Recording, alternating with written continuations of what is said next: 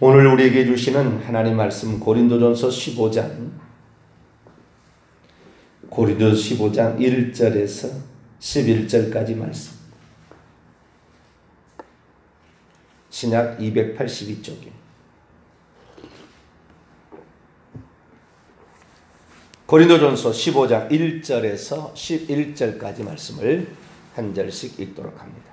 형제들아 내가 너희에게 전한 복음을 너희에게 알게 하노니 이는 너희가 받은 것이요.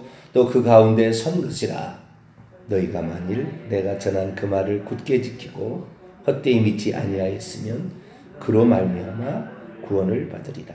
내가 받은 것을 먼저 너희에게 전하였노니 이는 성경대로 그리스도께서 우리 죄를 위하여 죽으시고 장사 지낸 바 되셨다가 성경대로 사흘 만에 다시 살아나사 개바에게 보이시고 후에 열두 제자에게와 그 후에 오백의 형제에게 일시에 보이셨나니 그 중에 지금까지 대다수는 살아있고 어떤 사람은 잠들었습니다. 그 후에 야고보에게 보이셨으며 그 후에 모든 사도에게와 맨 나중에 만삭되지 못하여 난자 같은 내게도 보이셨느니라.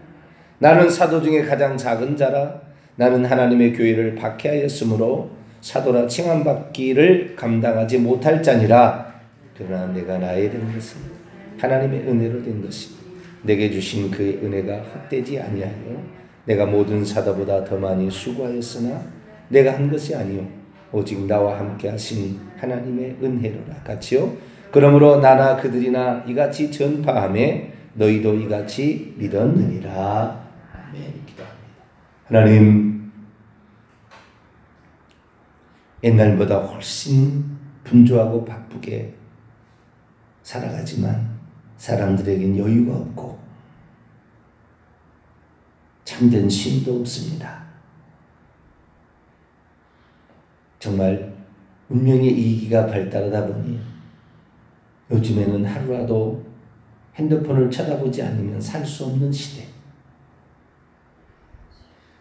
예전에는 빨래터에서 서로 고생하는 얘기 나누며 정겨운 이러한 모습도 있었지만 지하철을 타면 오직 핸드폰만 쳐다보고 아무 말도 하지 않는 막대기들만 걸어가는 것 같고 참 문명의 이기는 발달해서 우리에게 많은 것을 주는 것 같지만 인간은 상막해지고 여중생을 그렇게 죽도록 친구를 패도 희낙낙거리며 핸드폰으로 생중계를 하고 그리고 하는 얘기가 시간이 지나면 다 잊을 것이다. 이렇게 얘기하는 참으로 희한한 인간성이 말, 말살되는 시대. 우리가 그런 시대에 지금 살고 있습니다. 이제 곧 얼마 있으면 주님이 오시게 될 텐데, 이 세상에서 내가 믿음을 보겠느냐 말씀하십니다. 눈에 보이는 것만을 위하여, 현재의 달콤함만을 위하여 살아가는 이 세대 속에 저희들 갇혀있지 말게 하시고, 눈을 들고 마음을 들어 우리 하나님 영원한 나라 바라보게 하시고, 예수님처럼 나는 섬기기 위해 왔다. 희생하며 사랑해서 우리가 내게 안 준다고 대모만 할 것이 아니라 내가 줄 수 있는 것이 무엇인가 생각해 볼 수 있는 저희들 되게 하여 주옵소서. 이 시간도 주의 말씀을 듣고자 합니다. 하나님 저희들에게 말씀하여 주옵소서. 우리 주 예수 그리스도의 이름으로 기도하옵나이다. 아멘. 할렐루야.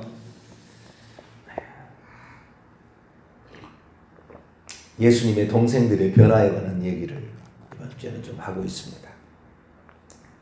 예수님의 동생들. 우리는 좀 잊고 살았죠. 사도들, 열두 사도들. 그 다음에 한 명 더 더해졌습니다. 사도 바울. 육신을 입고 있을 때 보냄을 받은 12명, 한 명이 가론 유다가 죽고 그 자리를 마띠아가 채웠지만 마띠아는 어떻게 살아가는지 알 수 없고 부활하신 주님께서 나타나 사도 바울을 이방인의 사도로 그렇게 보냈죠. 그래서 제 생각까지는 천국가에서 24개의 어, 보좌가 있어 천국 가는 하나님 보좌 뒤편으로 이렇게 둥그렇게 반 타원형으로 구약의 12명의 구원받은 사람의 대표와 신약의 12사람이 앉았을 텐데 아마 그 중에 가론 유다 대신은 예수님의 그 부활하심의 제자였던 바울이 앉아있지 않을까 생각합니다. 그 대표들입니다. 대표들.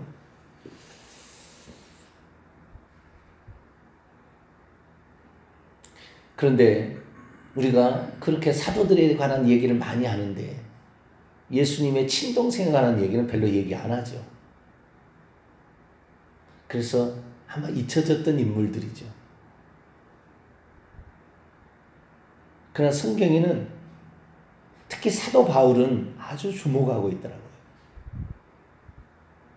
사도 바울은 아주 주목하고 있어. 그들의 이야기에 관하여. 갈라디아서 1장과 2장, 고린도서 9장과 15장을 읽어보면 그들의 이야기가 나와요. 직접적으로 쓰고 있어요. 우리만 잘 몰랐을 뿐이지. 그런데 그들이 아무것도 아니었느냐? 그들이 참 열심히 살았던 것 같아요. 고린도서 9장을 한번 볼까요?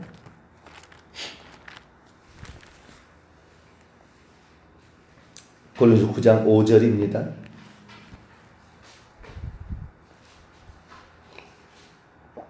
1절과 5절을 1절과 5절을 같이 봅시다. 시작. 내가 자유인이 아니냐 사도가 아니냐 예수 우리 주를 보지 못하였느냐 주 안에서 행한 나의 일이 너희가 아니냐 우리가 다른 사도들과 주의 형제들과 게바와 같이 믿음에 자매된 아내를 데리고 다닐 권리가 없겠느냐 고린도서 9장을 쓸 때의 시기가 AD 55년. 예수님께서 33년에 죽었다면 22년 정도가 지난 시점인데요. 여기서 사도 바울은 분명히 얘기합니다. 내가 사도가 아니냐? 우리 주를 보지 못하였느냐? 여러분, 주님을 눈으로 직접 보지 않고 파송을 받은 사람은 사도라 하지 않습니다. 바나바도 사도 아니에요. 직접 우리 주님을 보지 않은 사람이니까. 예수님의 열두 제자는 직접 보고 파송을 받았기 때문에 사도라고 얘기를 하고요. 바울도 사도라고 얘기하는 것은 바울은 부활하신 주님이 직접 현현했어요. 인류 역사 가운데 몇 번 없는 이야기예요. 인류 역사 가운데 몇 번 없는 이야기. 예수님이 직접 오지 않아요. 부활 승천하시면 성령을 보내서 사역하시지 직접 오시지 않습니다. 직접 와서 사도로 삼았어요. 그리고 보냈어요.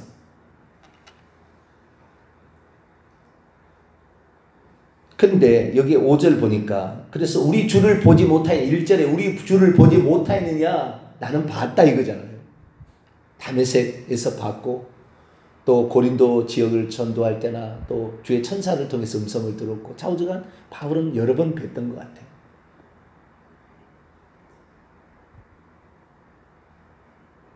우리가 사도행전 읽어보면은 공간 복음서에 안 나오는 이야기가 바울이 얘기합니다. 뭐냐면은 주는 것이 복되도다 하는 것을 주 예수님이 직접 얘기했다고 그래요. 주님이 친히 말씀하신 바 주는 것이 받는 것보다 복되도다. 이런 말은 공간복음서에 안 나옵니다. 이해를 했다는 거죠. 부활하신 주님이 나타나서 한 거지요.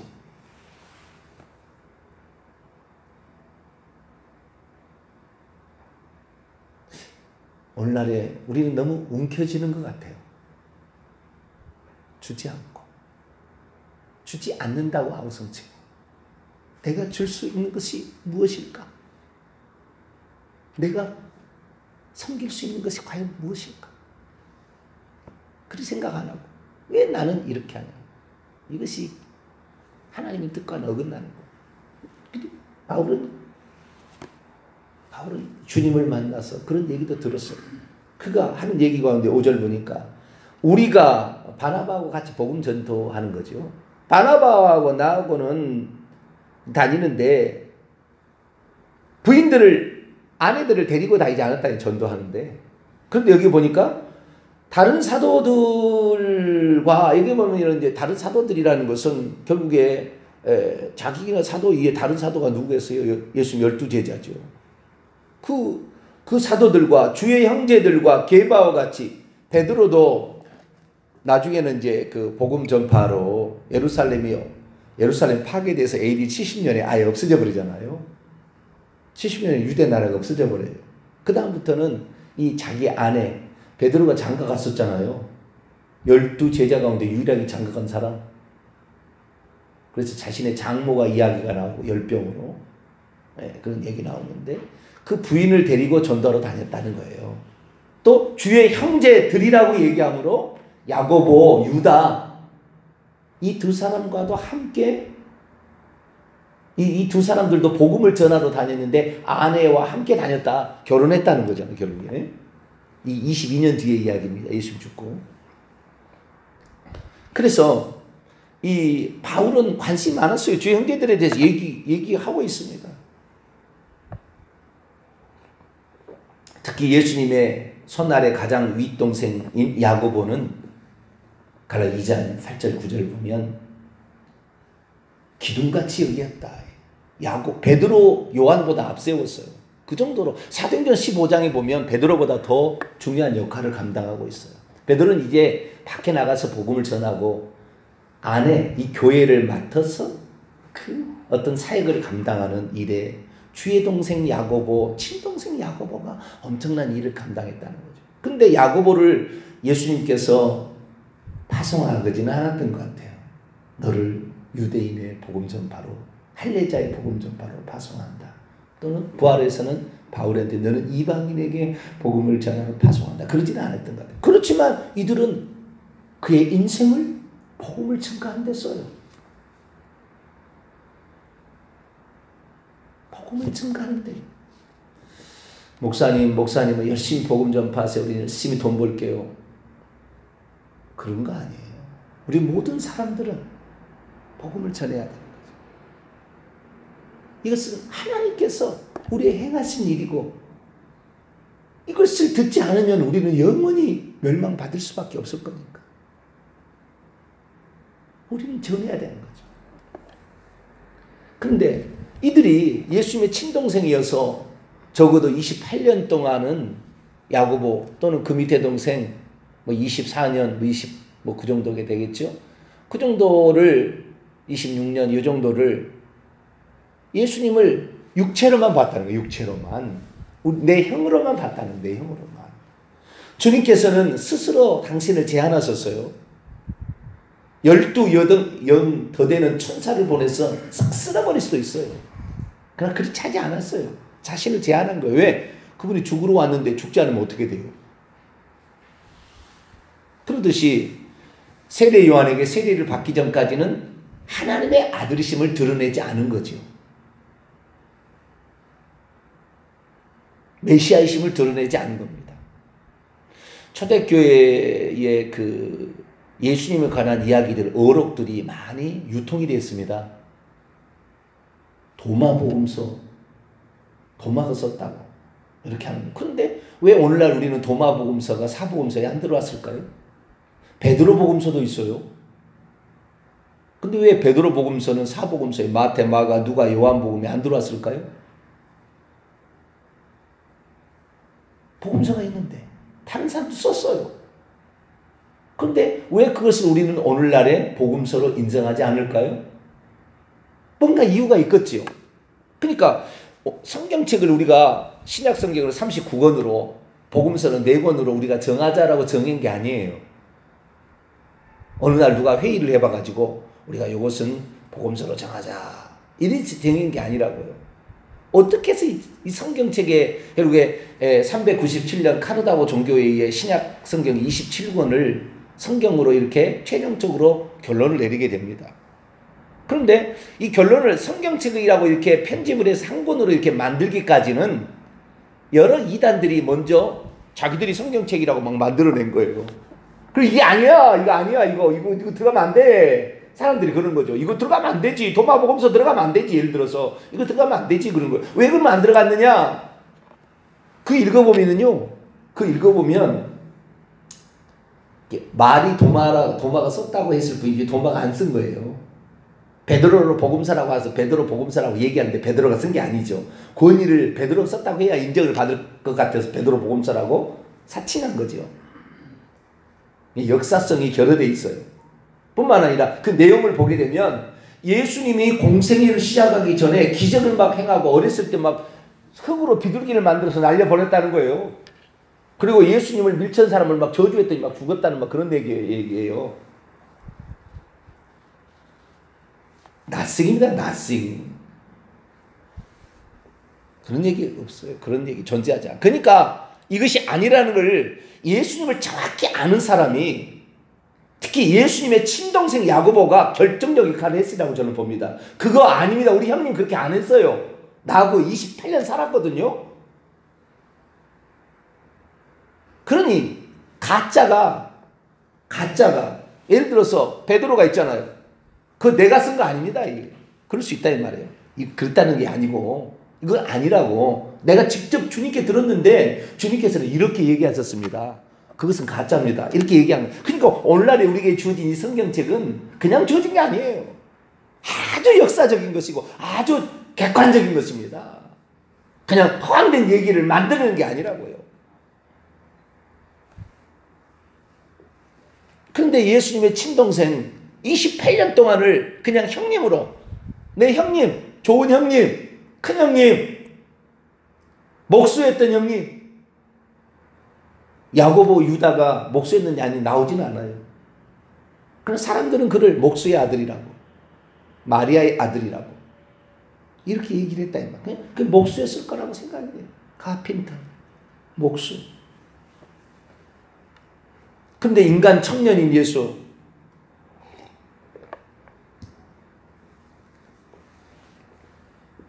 그런데 그분을 하나님이라고 나의 주님이라고 영광의 주님이라고 나는 그의 노예라고 나는 그의 종이라고.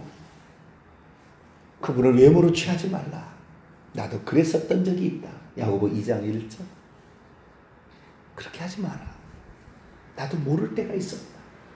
그러나 내가 그분의 진짜를 알게 된 다음부터는 나는 그분을 형님이라고 부를 수 없다. 내 친형님이 맞기는 맞다. 그러나 나는 그분을 친형님이라고 부를 수 없다. 그분은 나의 주, 나의 하나님이시다. 할렐루야. 그렇게 고백했다. 오늘날에 교회를 와서 예수 그리스도를 믿는 사람들이 예수님이 하나님이고 자기의 주님이 안 되는 사람은 결국에 천국 못 가요.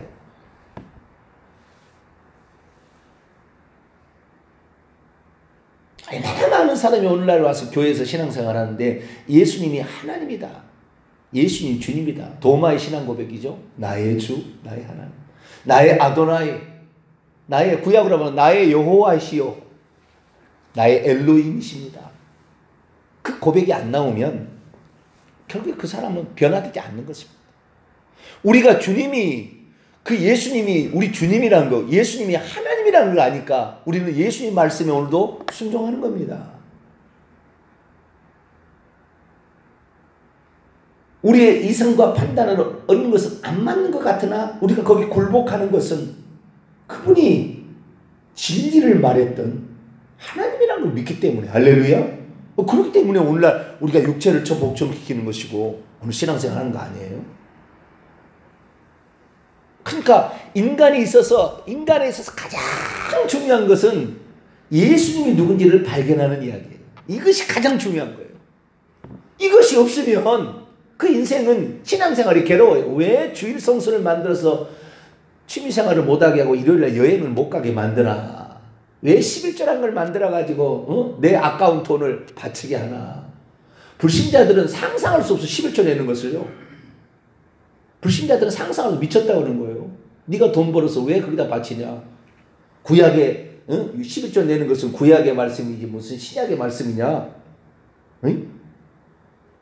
바보들 이런 바보들 목사가 얼마나 치부한 줄 아느냐? 어? 돈 사놓고 아니 땅 사놓고 하고 있다. 너희들 속지 마라. 아주 도배를 도배를. 모르니까. 목사도 모르니까 잘못했어. 그렇게 지옥 가는 것이고 우리 주님이 불꽃 같은 눈으로 쳐다보고 있다는 걸 모르니까 우리의 폐부와 심장을 살피시는 이라는 걸 잘 모르니까. 뒤로 가서 호박씩 가고. 겉으로 믿음 있는 척하고 직분은 장로 권사까지 올라가지만 얼마나 교만한지 상상을 초월하고 나중에 아나무인이 되어서 말도 안 듣고. 얼마나 사람들이 이게 뭐요? 예수님이 심판주로 나중에 온다는 걸 모르니까. 아니 뭐 나중에 아니라 우리가 정확히 알잖아요. 사람이 죽으면 그날 부활절이 있고 그날 심판받아 천국에 들어갑니다. 인류가 어디서 잠자다가 무덤 속에 잠자다가 주님이 오시는 날 무슨 호련이 변화된 게 아니라고요. 그것은 마지막 때, 그날 때, 그 순간에 있었던 사람들이 그렇게 하는 것이고, 누구든 지금 이미 다 천국 가 있어요. 가보세요. 천국에 이미 들어가 있습니다. 지옥에 이미 들어가 있어요. 뭐 그걸 끄집어내서 다시 뭐 백번째 심판하는 게 아니라고요. 얼마나 성경을 모르는지 몰라요. 저도 몰랐어요. 과거에 잘.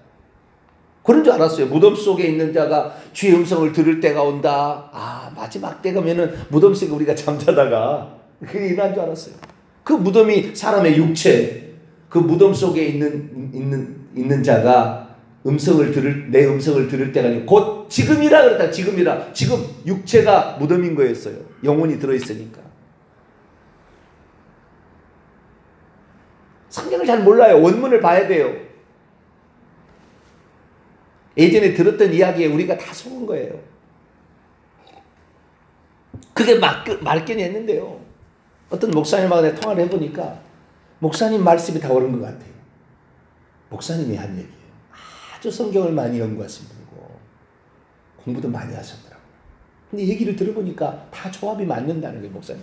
그런데 그러면 우리가 이 성도한테 가르치려니까 한두 가지가 아닌 거예요. 한두 가지가 아니에요. 틀린 게 우리가 알고 있는 상식, 죽음, 부활, 종말, 재림, 성령. 성령이 누군지, 예수님이 누군지 특히.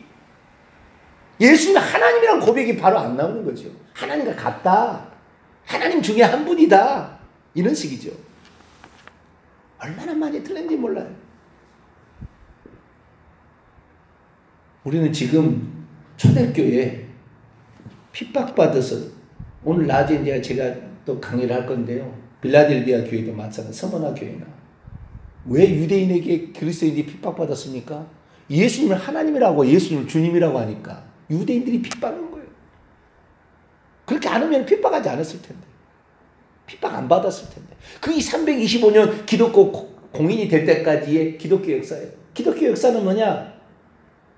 ABBA예요. 처음에 있었던 것이 다시 나타나는 거예요. 초대교회 그 핍박의 상황이 다시 나타나는 거예요. 진리를 말하면 진리를 안 받아들이는 거죠. 교회에서 그를 출애시키는 것을 하나님을 믿는 예라 생각하고 교회에서 그를 이단으로 정지해서 뭐 해버리고 죽여버리고 중세시대는 막 죽여버렸잖아요. 말 안 듣다. 심지어 무릎 꿇고 기도하는 것을 하지 말라고 그랬다고요?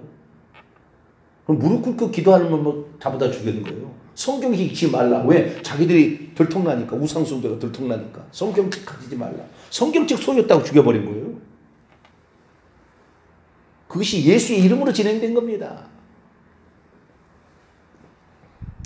우리가 장차 주님이 오실 때는 응? 그 환란의 날을 감하지 않으면 택하신 자도 그날을 견딜 수 없기 때문에 그날을 감하신다 할 정도로 그런 어려운 시대가 온다 이 말이에요. 이건 무슨 말입니까? 거꾸로 전부 혼합된 다른 것을 갖고 그것을 믿고 갈 거라는 거죠. 그걸, 그걸 진실인 줄 알고 믿고 가면은 핍박은 없어요. 진실을 말하지 않으니까. 적당히 타협하면 되니까. 이세벨처럼 에이, 우상숭배가 아닙니다. 그냥 우리 교회 사는 예식입니다. 무슨 추대배 장례배가 무슨 우상 숭배입니까? 그거 아닙니다. 교회에서 지금까지 해왔는데 그러면 교회 다닌 사람 중에 다 지옥 갈게요. 쓸데없는 소리하고 자빠졌네요. 그냥 이런 식으로 적당히 타협하는 거예요. 아닌 건 아닌 거죠. 우리는 아닌 건 아닌 거 할렐루야. 정확히 성경에 나와 있는 대로 무엇을 주님께서 중요시 여기는가 알아야 돼요. 야고보 예수님을 만나기 전까지는 예수님이 진 면목을 못 본 거지요. 에? 훌륭한 훌륭한 형님, 존경받을 형님까지는 됐지만 하나님이라고는 보지 못한 거죠. 왜 하나님으로서 그 일을 수행을 하지 않은 거예요. 왜냐하면은 저는 그걸 알아요. 왜냐하면은 예수 그리스도께서 미리 공개되어 버리면 죽임을 당하는 거예요. 사탄 마귀가 그래서 다 감춘 거예요.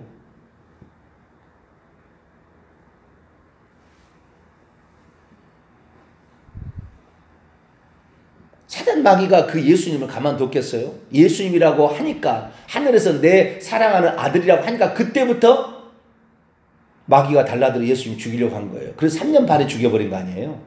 그만 죽이면 끝내겠다 싶어가지고. 부활의 주님이 영광의 주님인 줄을 그도 모르는 거죠. 하나님의 아들이라고 하니까 애매한 거예요. 왜 하나님의 아들의 음성이 나왔겠어요? 사탄을 속이는 겁니다, 결국에. 하나님의 아들 정도로만 생각하게 만든 거죠. 하나님이랬으면 죽였겠어요? 마귀가 죽였겠냐고요? 안 되는 거죠. 그러니까 다 일리가 있는 거예요. 왜 예수님이 자기를 아들이라고 했을까? 하나님이라면요, 마귀가 죽이기 전에 유대인들이 죽였을 게 돌로. 이 신성 모독죄라고. 나를 아들이라고 하는데도 너희가 나를 죽이라는데 내가 하나님이라 한다면 어떻게 하겠느냐? 예수님 그렇게 얘기하셨어요. 그런데 우리는 지금 그 예수 그리스도 그분의 그분을 이 야고보나 유다처럼 친동생처럼 처음에 몰랐다가 이분을 진짜 발견해야 되는 거예요. 발견해야 되는 거예요. 야고보는요 믿지 않았어요. 자 마가복음 6장을 볼까요? 예수님 공생에 다닐 때 믿지 않았어요. 이분이 하나님, 이분이 메시아 안 믿었어요.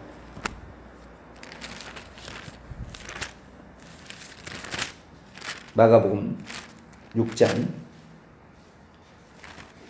6장은 지난번에 봤고요. 4장을 봐야 되겠습니다. 마가복음 4장 4장 4장 마가복음 4장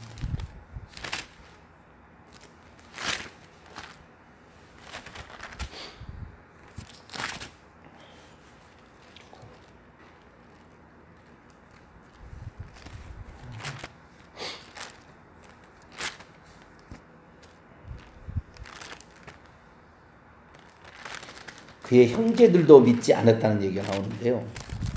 지금 잠깐 헷갈리네요.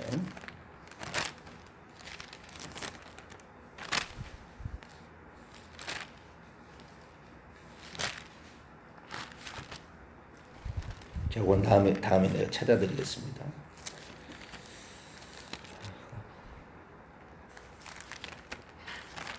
그 형제들도 처음에는 이 요한복음 7장에 그 나온 얘기 말고요. 그 어,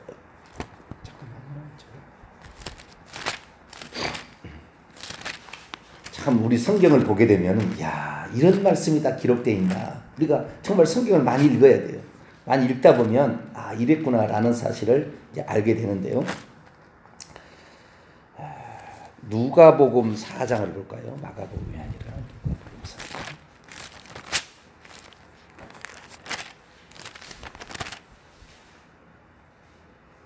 누가복음 4장. 누가복음 4장. 내가 헷갈립니다. 다음에 내가 찾아드리겠습니다. 거기 보면 예수님의 친척들도 미쳤다고 그랬다고 그래요. 예수님의 친척들도 그를 미쳤다 이렇게 얘기하는데 그 예수님의 친척들이 뭐라고 그랬어요? 아 그거 목수의 아들이야 무슨 소리야 그게 그랬다는 거죠. 그러니까 그 나사렛에 나사렛에 살던 사람들도 예수님이 오니까 배척했어요. 그래서 그 어떤 사람들도 이 예수 그리스도께서 이 그 하시는 그 어, 말씀을 듣고 이분이 메시아인 줄 나중에 보니까 이 공생애를 시작해서 와서 말씀을 증거하는 것을 들어보니까 아 이분이 말하는 것이 이상 어떻게 이런 권 이런 말씀이 어떻게 저 입에서 나오지? 그리고 예수님 고치는 거 이런 거 보니까 어떻게 해서 예수님에게서 이런 행동이 나오지? 배척했다니 아니야. 그러니까 과거에 머물러 있는 거죠. 예수님은 과거에 봤던 그 모습에 머물러 있는 거죠. 지금 하나님께서 당신을 감춰놓았다가 공개하는 그 장면을 보고 그걸 봤어야 되는데 그걸 못 본 거죠. 이 야고보나 이런 사람들은 결국에 뭐예요? 예수님을 나중에 진짜를 알아보게 된 거죠. 본 거죠. 아, 그럼 이분이 이랬었구나 하는 걸 알게 된 거죠. 그러니까 우리의 일생도 만약에 그렇지 못한다고 한다면 아마 우리들도 그것을 깨닫지 못할 거예요. 자, 정확한 걸 봅니다. 마가복음 3장입니다. 마가복음 3장. 내가 4장이라고 생각합니다. 마가복음 3장. 21절을 봅니다. 마가복음 3장 21절. 있습니다. 시작. 예수의 친족들이 듣고 그를 붙들러 나오니 이는 그를 그가 미쳤다 하미라 예수의 친족들이란 말은 호이파르 아우투 그의 옆에 있는 사람들이란 뜻으로 친족들을 말해요. 친족들도 다 미쳤다고 그랬어요. 저, 저 미쳤다. 저 미쳤고 돌아다닌다. 막 제자들을 데리고 다니잖아요, 막. 어? 이거 미쳤다 그랬다니. 그러니까 예수님을 몰라보면은 전부 미쳤다고 생각하고 그 세상 사람들도 우리가 예수 그리스도를 믿고 다니면 우리 미쳤다고 그러는 거예요. 너희 미쳤구나.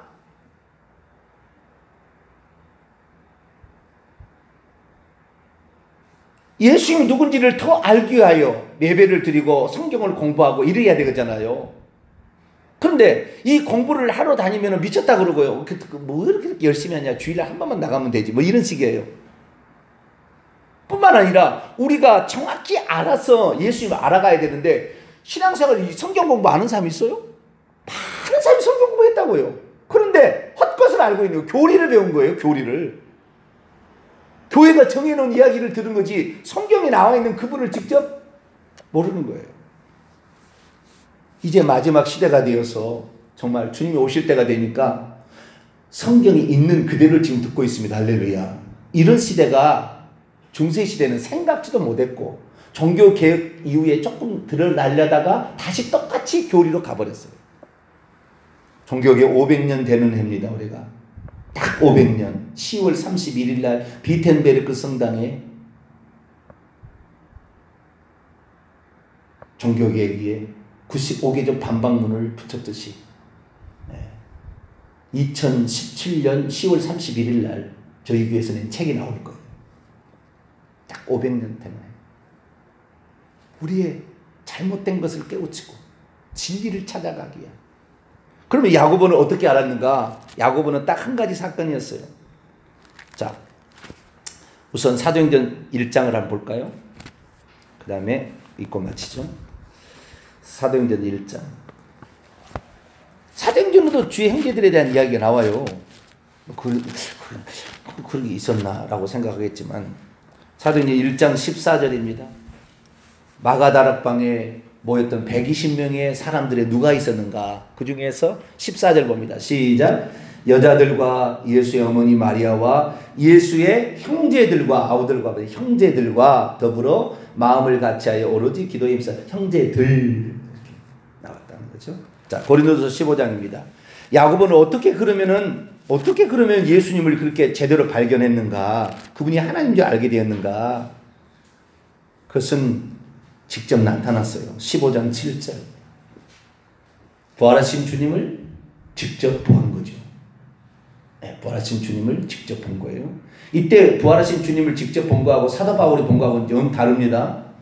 아직 천국에 올라가기 전의 상황에 본 것이고 이 부활하신 주님을 사도 바울은 천국에 이미 가셨다가 예수님께서 다시 오신 이 사건은 인류 역사에 있을 수 없는 사건이에요. 그것은 너무 특별하기 때문에 하나님 하신 것이고 이때는 부활하신 게 보이는 것인데요. 15장 7절 있습니다. 시작.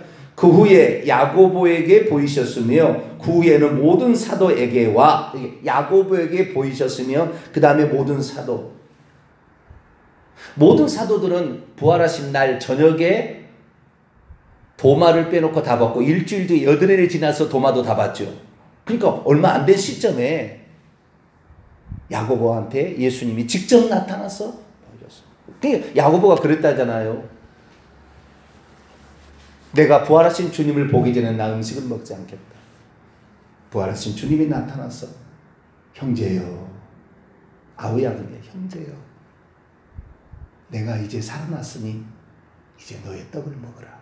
그랬다는 이게 야사이라고 해요.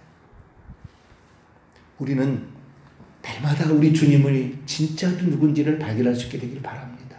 그래야 믿음이 생기고 믿음이 생기면 고난 앞에 두려워하지 않고 자기 목숨을 버리는 거예요. 자기 목숨을 주님께 내어드리지 못한다면 그 사람 믿음 아직 안 된 겁니다. 그게 초대교회 역사입니다. 우리도 우리의 주, 우리의 목숨을 주님 위에 드릴 수 있을 정도로 우리 주님을 제대로 알아. 그 주님 성길이 sup고 그 주님께 충성하다가 천국 가게 되기를 간절히 바랍니다. 거룩하신 하나님, 수많은 사람들이 오늘 신앙생활을 한다고 하지만 우리 주님이 누군지를 제대로 발견하지 못하면 그들은 결국에 주님을 모른다고 부인할 것입니다. 고난과 역경이 찾아왔을 때 주님을 모른다고 할 것입니다. 하나님, 우리가 흔들리지 않는 믿음을 가지려면 예수님이 누군지를 정확히 알아. 하나님이 우리를 위해서 행하신 그 일에 감사하고 그분을 위하여 나의 인생을 드리고 복음을 증거하는데 우리 인생을 드릴 수 있는 저희들 되게 해 주옵소서. 우리 주 예수 그리스도의 이름으로 기도하옵나이다. 아멘. 하늘에 계신 우리 아버지여 이름이 거룩히 여김을 받으시오며 나라의 임하옵시며 뜻이 하늘에서 이룬 것 같이 땅에서도 이루어지이다. 오늘날 우리에게 일용할 양식을 주옵시고 우리가 우리에게 죄진 자를 사하여 준 것 같이 우리 죄를 사하여 주옵시고 우리를 시험에 들게 하지 마옵시고 다만 악에서 구하옵소서 대개 나라와 권세와 영광이 아버지께 영원히 싸움나이다. 아멘